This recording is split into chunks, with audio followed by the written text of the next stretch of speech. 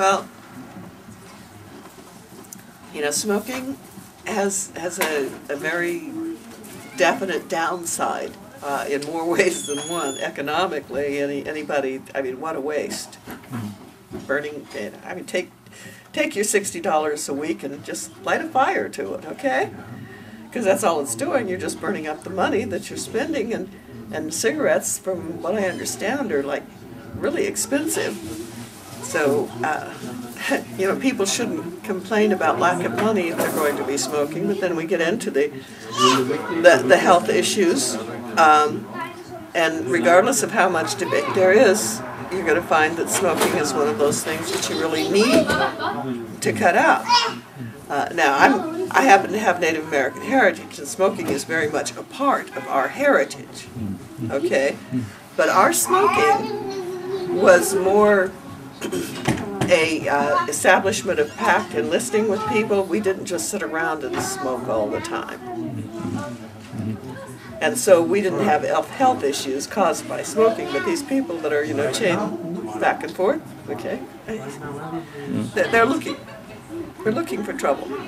And, and it's going to kill them sooner or later. It's going to kill them one way or the other. It's going to kill them. There's no way around it. I, I thought it was really cute um, once when my son and I were traveling and we were in, and I will not name the country, but we were visiting another country and we were there for like three months and they kept taking my son out to smoke hookah. They said, oh, no tobacco, no tobacco, it's, you know, it's not addictive, you don't have to worry, it's all right, don't worry. Um, and he, he was uh, 13, 14 years old at that time. Okay, I, I trusted him. My son was addicted.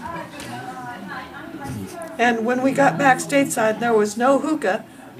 It ended up cigarettes. So even what they say is, you know, the hookah is not addictive, I question that. Uh, there's there's different things that, that make addiction too easy in, in too many ways, and we need to avoid all of that. Uh, I, I'm not going to speak against smoking that's part of ceremony because of my own heritage. I won't do that. But smoking, and the, the, the loss of, of health, uh, the loss of financial well-being, um, it doesn't make sense.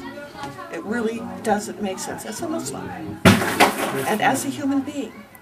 It doesn't make sense. It doesn't make sense. And I think we need to, well, I wish the government would actually do more programs that helped people to quit smoking. And that's something we're lacking, are programs that actually will assist the people, that really work at helping the people quit smoking. Do you think that mosques could establish support groups perhaps or do other things? Mosques should establish support groups, yes. Um, but a lot of Muslims that smoke are embarrassed to go public that they smoke because there is such an outcry against them and people yelling haram alaik, astaghfirullah billah, and all of this instead of actually offering help and they're saying, just quit, just quit. And it's not that easy. It's not easy to quit smoking and they need help to quit smoking. Um, I mean, sometimes they may need medical help to quit smoking, but they need support and they need help. And no, we're not getting it in any of the masjids that I know of. We get condemnations and criticism and judgment. And, you know, somebody who's been smoking in secret isn't going to go forward because they're going to be condemned and everyone, did you know that so-and-so is smoking a pack and a half a day? Which, which isn't helping.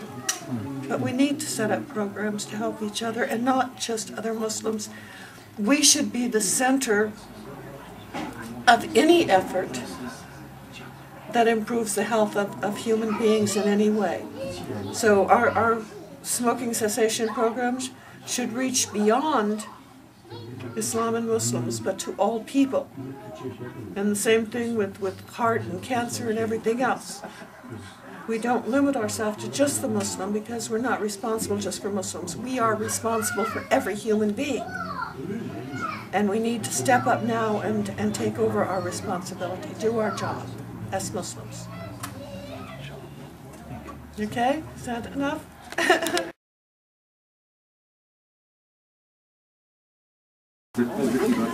Well, in, in Islam, we're, we're supposed to be very aware of, um, of our bodies and how we're taking care of them. All right?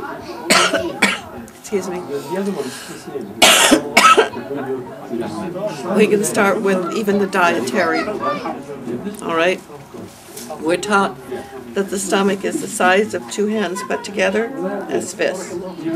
And that we're only supposed to have one third of that for food, one third for water, one third for air, which means the digestion will be better and you don't overeat.